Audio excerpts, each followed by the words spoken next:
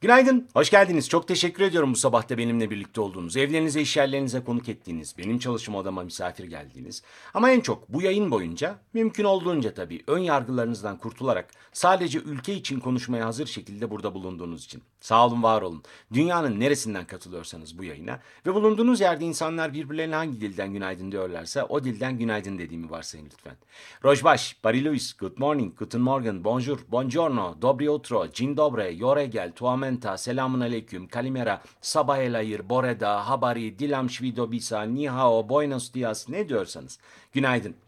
Bugün biraz yalan haberciliğin doğru haber üzerinden üretimini konuşalım. Şimdi haklı olarak diyeceksiniz ki ne saçma bir şey. Yalan habercilik doğru haber üzerinden nasıl üretilir? Doğru haber ortaya çıktıysa nasıl yalan hale gelir? Şöyle efendim, arz edeceğim ama aşağıdan 3 noktaya bir dokunabilir mi Periskop ve Skop izleyicileri? Yayını paylaş tuşunu tıklasınlar. Nerede paylaşmak istediklerine karar verip yayınla desinler ki diğer dostlar da gelsin. Hikaye şu. Daha doğrusu olmayan hikaye şu. Dün akşam üzeri saat 16.30 civarında İstanbul Kartal'da Sema Sokak'ta e, kimilerine göre 7 katlı, kimilerine göre 8 katlı. Bu da çok saçma geliyor eminim size. Ulan belediyenin ruhsatında görünmüyor mu 7 katlı mı 8 katlı mı hikayesi? E, görünüyor tabii. Ama öyle bir bina yok. Dün İstanbul'da, Kartal'da, Sema Sokak'ta 7 ya da 8 katlı, içinde 14 dairesi olduğu söylenen, kimilerine göre 12 daireli ama içinde 40 ile 47 arasında insan yaşadığı belirtilen bir bina çökmedi. Çökmedi. Bir takım yalancı unsurlar çöktüğü yönünde haberler yapıyor. Allah'tan devletimiz müdahale etti ve çöküntü olmadı. Mesela iki insanın orada hayatını kaybettiği söyleniyordu. Yalan. Hatta sabah 3 olduğu söylendi e, cenaze sayısının, ölü sayısının. O da yalan. Öyle bir şey yok. Böyle bir çöküntü falan olmadı. 2004 yılının hatırlıyor musunuz? Size ben bir olay anlatmıştım. 2004 yılının 1 Şubat günü. Hem de tam yaşadığımız günlere çok yakın ya. 1 Şubat, 2 Şubat özür dilerim 2 Şubat günü. Konya'da Zümrüt Apartmanı çöktü. O gün çöktü. Gerçekten çöktü. İçinde ölen insanlar oldu, yaralanan insanlar oldu. Ama bununla birlikte çok tuhaf bir durum ortaya çıktı. Çünkü çöken çok pahalı bir binaydı. Gerçekten Yeni Nalçacı denilen semtinde Konya'nın orada yaşayanlar çok iyi bilirler. Yeni pırıl pırıl gerçekten çok şık bir bina idi çökene kadar. Fakat altında bir araba galerisi oluşturulmuştu. Galerinin hatta bina sahiplerine yakın olduğu falan söyleniyordu. O galeri arabaları sığdırabilmek için kolonlardan birini kesmişti. Şimdi diyeceksiniz ki nereden biliyorsun sen? Ben oradaydım. Onu anlatan muhabirdim ben. O olay olduktan sonra o bölgeye intikal eden ilk muhabirdim. Ve e, yaklaşık 26-27 saat civarında hiç ayrılmadan, uyumadan orada o olayı anlattım. Ama burada hikaye o olay değil. O günden bugüne nasıl geldiğimiz. Çünkü dün İstanbul Kartal'da Sema Sokak'ta hani bir bina çökmedi ya. O çökmeyen bina ile ilgili habere yayın yasağı geldi. İnsanlar dediler ki bu duyulmasın, konuşulmasın. Niye? Oysa ortada devletin valisinin verdiği resmi bir bilgi var. Devletin valisi deyip geçmeyin. Hemen yanında iktidar partisinin Büyükşehir Belediye Başkan adayı duruyor bu bilgiyi verirken. İçişleri Bakanı duruyor. Hemen yanında. Dedi ki bu binanın üç katı kaçak. Kaç kat olduğundan emin miyiz binanın? Yedi ya da sekiz. Ama üç katının kaçak olduğunu biliyoruz. En azından haberin bu kadarını kullanabiliriz. Yayın yasağı. Ki düşün bina çökmemiş haberini yapıyoruz biz. Aslında böyle bir şey yok. Hiç olmadı. Hiç yaşanmadı. Ve şimdi böyle bir durum ortadayken insanlar olayı saklayabilmek için 1500 tane takla atıyor. Ama saklanabilecek bir durum yok ki. Çünkü olaydan sonra hala sakladıkları, maalesef yok edemediler ama hala sakladıkları haberci refleksiyle etraftaki dükkanların güvenlik kameralarının görüntüleri çıktı ortaya akşam üzeri okulundan dönen önlüklü ilkokul bebeleri var önden geçen. Lambur lumbur koşuyorlar. Ve o çocuklar hayatları boyunca o travmayı yaşayacaklar. Hepsi. Ama Allah'tan böyle bir olay olmadı. Yani böyle bir bina çökmüş olsaydı o travmalar yaşanacaktı. Biz 31 Mart'ta seçime gidiyoruz. Seçim ne seçimi? Belediye. Ve şimdi o binanın kime ait olduğunu öğrenemeyeceğiz biz. Daha doğrusu öğrenecek öğrenmesi gerekenler de onunla ilgili haber yapılamayacak. zannediyorlarsa çok yanılıyorlar. Çünkü işin artık farklı bir bölümü var. Herkes tak diye söyleneni şak diye yapan dandik medya mensubu değil. Artık sosyal medya üzerinden yayılacak bir takım haberler var. Ve bu haberler daha da manipülatif hale gelecek. Yani devletin resmi görevlileri tam tersine o haberlere yol açmamak için kendileri bilgi vermek zorunda. Bütün dünyada modern demokrasilerde böyle yapılıyor bu iş. Gerçekten. Bir olay yaşandığı zaman resmi yetkililer saat başı yarım saatte bir önceden kurgulayarak bilgi veriyorlar medyaya. Bize, bizde niye verilmiyor? Hadi gelin bugün bunu konuşalım. Bizde niye verilmiyor bu bilgi? Ben size çok açık şekilde söyleyeyim. Çünkü saklanan bir şey var. Bakın göreceksiniz o binanın altından çok tuhaf bir şey çıkacak. Çok tuhaf. Mümkün değil çünkü ya. İstanbul'da durduk yerde kimilerine göre bir patlama sesi duyulmuş, çökmüş. Kimilerine göre hiçbir şey yokmuş. Öğleden itibaren bir kırık oluşmuş. Yıkılmış bina iki saatlik bir süre içinde. Ama göreceksiniz o binanın altından, o binanın ruhsatı ile ilgili çok acayip bir şey çıkacak. Çünkü bu kadar hızla saklanabilmesinin bir gerekçesi olmalı. Bu çok saçma. Yani şunu düşünün. Burada haberin yasaklanmasında kamunun garantisi, kamunun iyiliği olabilir mi? Ne olacak kamunun iyiliği burada? Bina çökmedi dediğin zaman kamu yani bu devletin yaşayanları ortada o binanın çöküş görüntülerini görmeyecekler mi? İstanbul'da Kartal'da yaşayanlar o büyük toz bulutunun ardından bir binanın çöktüğünü bilmiyorlar mı? E o zaman burada bir kamu yararı yok. O zaman niye yasaklarsın kardeşim bu haberi? Niye can havliyle herkes anında devletin bütün yetkilileri oraya koşar ve olayın üstü kapatılmaya çalışılır? Bakın göreceksiniz. Buradan bunun altından çok büyük bir pislik çıkacak. Çünkü bu sağlıklı değil. Bu yaklaşım sağlıklı değil. Anlatamazsınız bunu. İmar affıyla, ruhsatı verenle, binanın sahibiyle, belediyenin içinden bağlantısıyla bilmiyorum. Ama bir şey çıkacak. Çünkü bu akılcı değil. Nereden biliyoruz biliyor musunuz? Saat şu anda 9.10 geçiyor. Yaklaşık 50 dakika sonra çocuklar zehirlenmesin inisiyatifi İstanbul'da bir toplantı yapacak. Ve toplantıda bir araya gelerek bir protestoda bulunacaklar. Aslında protestoyu, protestonun gerekçesi 12 yıl hapis cezası istemiyle yargılanan bir akademisyeni, üstelik kanun hükmünde kararnameyle görevinden kovulmuş bir akademisyenle ilgili e, en azından sahip çıktıklarını gösterebilmek. Adı Bülent Şık. Ahmet Şık'ın abi.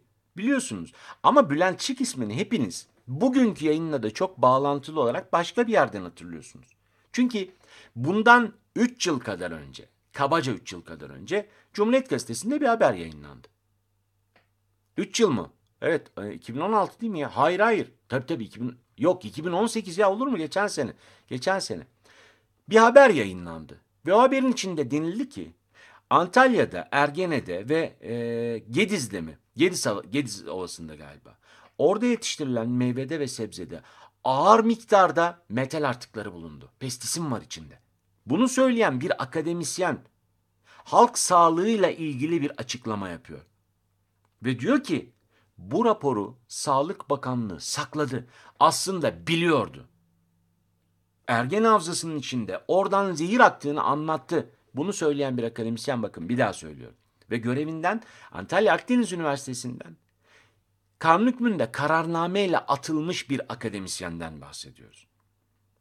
Ve bunun üzerine hem Bülent Şık'la ilgili hem de Cumhuriyet Gazetesi'nin sorumlu yazı işleri müdürü Faruk'la ilgili, Faruk Eren'le ilgili dava açıldı.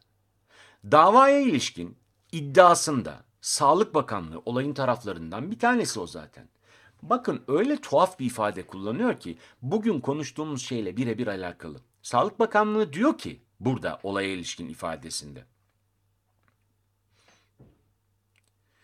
Şikayet konusu lütfen dikkatli dinleyin.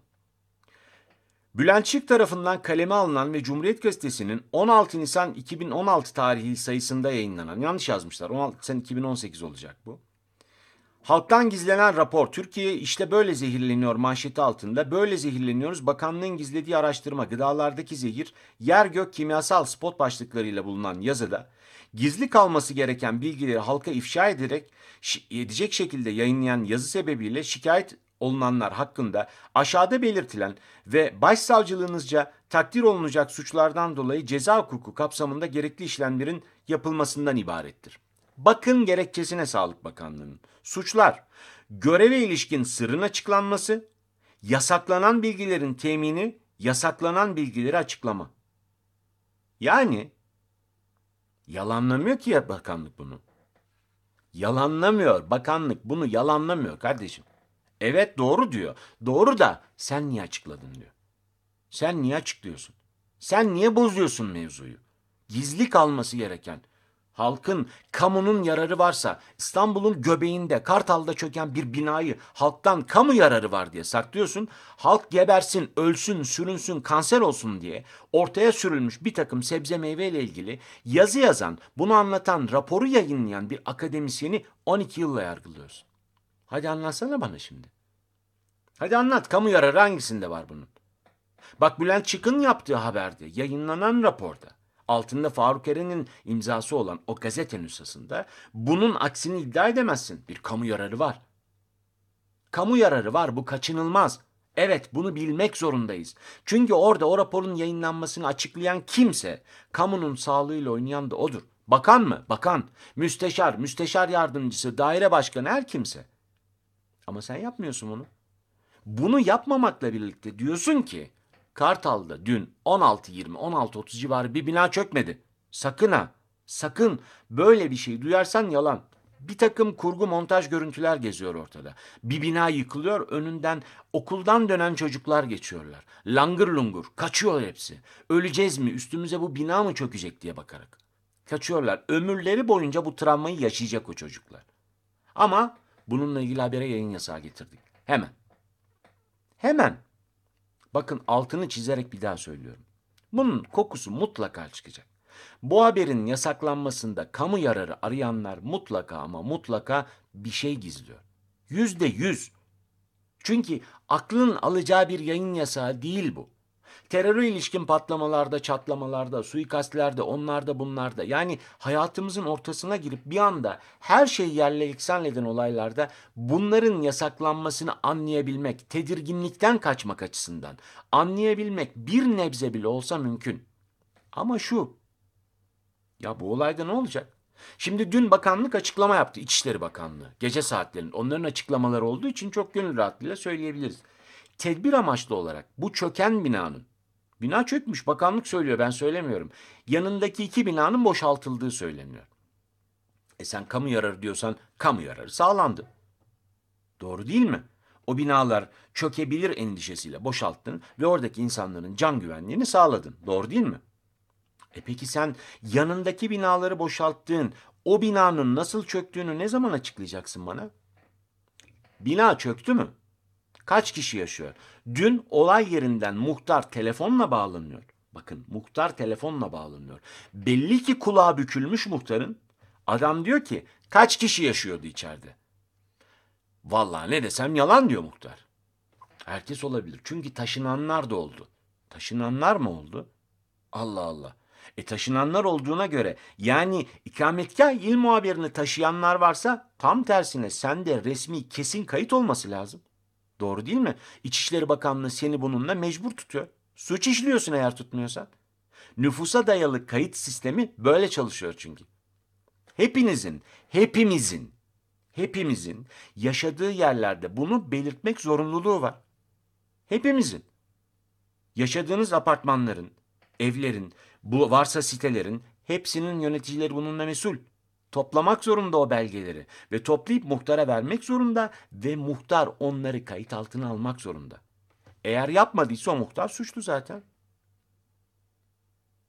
Diyor ki burada kaç daire vardı? Valla 12-14 arası daire var. Aşağıda da bir tekstil atölyesi var. Bakın aşağıda da bir tekstil atölyesi var. Ve ortaya çıkıyor ki tekstil atölyesi de ruhsatsız.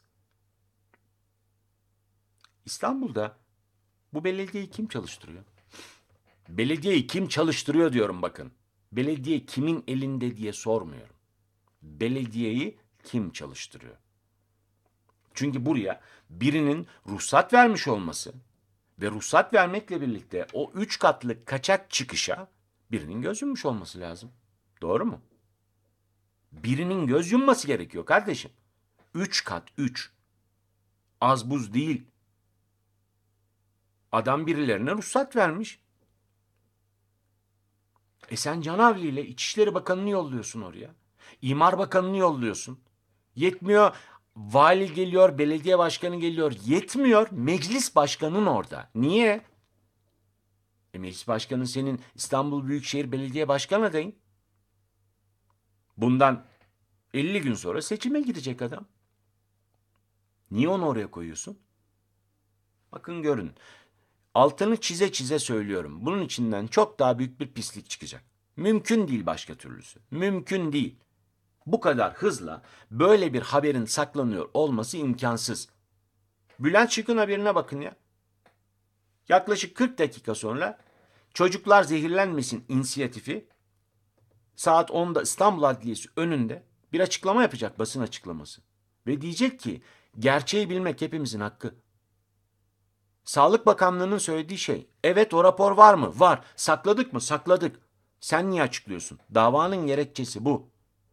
Sen nasıl saklıyorsun? Kamu yararı varsa burada var.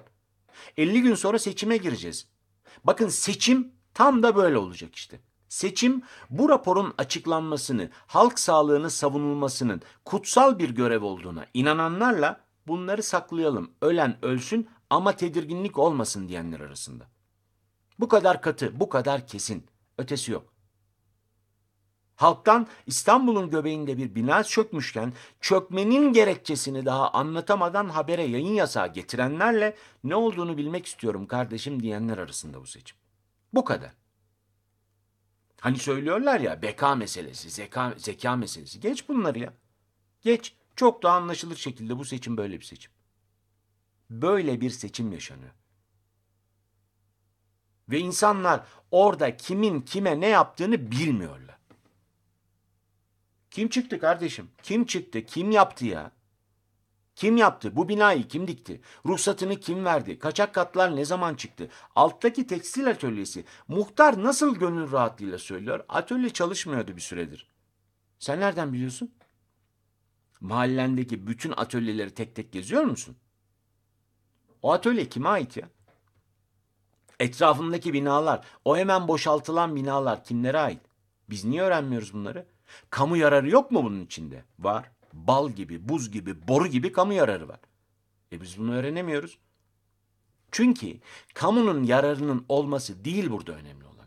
İktidara yarar sağlıyor mu, sağlamıyor mu? Bu kadar basit. Nereden biliyoruz? İşte Bülent Şık davası ortada. Bugün Çağlayan Adliyesi'nde bundan 35-40 dakika sonra çocuklar zehirlenmesin inisiyatifi orada bir açıklama yapacak. Orada da anlatacaklar. Bakanlığın reddetmediği, evet böyle bir rapor var dediği, evet tespitleri doğru dediği bir belirgin ortaya çıkmış bir çalışma ile ilgili bunu sadece yazdığı için 12 yıl hapis cezası ile yargılanıyor Bülent Şık. Ben soruyorum size kamu yararı kimde var? Kimin kardeşim bu kamu yararı?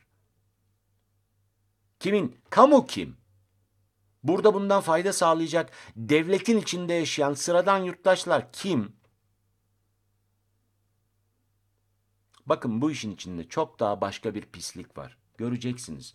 Yoksa burada 31 Mart'ta koştur koştur gidilirken 31 Mart'ta insanlar seçimle ilgili kafaları tam da bir dakika ya evet kardeşim ben iktidar oy atmış olabilirim. Ama burada bu seçimde çok daha farklı bir şey olacak. Çünkü bu insanlar şımardı artık. Bu insanlar özgürlükten korkuyorlar artık diye ortaya çıkıp oy atacaklarını açık açık söylerken böyle bir fırsat kaçırılmazdı. Burada başka bir durum var. Habere yayın yasağı getirilmesinin kimseye bir faydası yok. İlla bir yasak mı getireceksiniz? Bakın yasak getirecekseniz şuraya getirin. Biz sıradan dandik bir Orta Doğu ülkesi olmayalım ya. Bir çöküntü yaşanıyor. İnsanlar canlarıyla boğuşuyorlar orada. Enkazın üzerinde 500 kişi var. Hadi toplayın orayı.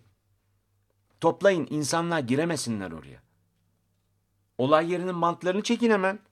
Yapıyorsunuz. İlla yasak gelecekse oraya yasak getirilsin. Oraya giriş yasaklansın. İnsanlar, ekipler işlerini iyi yapabilsinler. Akut'u, AFAD'ı, kim çalışıyorsa. Onlar işlerini doğru düzgün yapabilsinler. Ama onu yapacağınıza siz orayla ilgili bilgileri kısıtlıyorsunuz.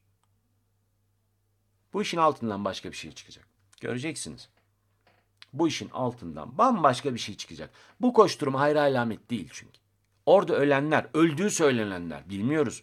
Çünkü bununla ilgili haber yapmak yasak. Kusura bakmayın. Vali çıkacak, açıklayacak. Biz de diyeceğiz ki böyle bir şey olduğu söyleniyor. Yani vali söyledi. Herhalde bu kadarından eminiz. Kalanı bilmiyoruz kalanını.